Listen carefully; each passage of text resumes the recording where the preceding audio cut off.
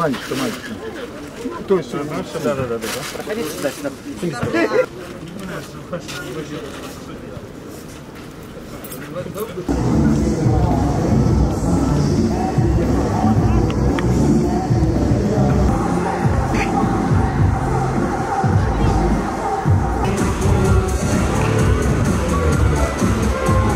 Верніть, Головний тренер команди Сергій Кравчук. Сокращенной милиции областных забороняется здесь какие-нибудь провокационные тени. Удивишь какую-нибудь форму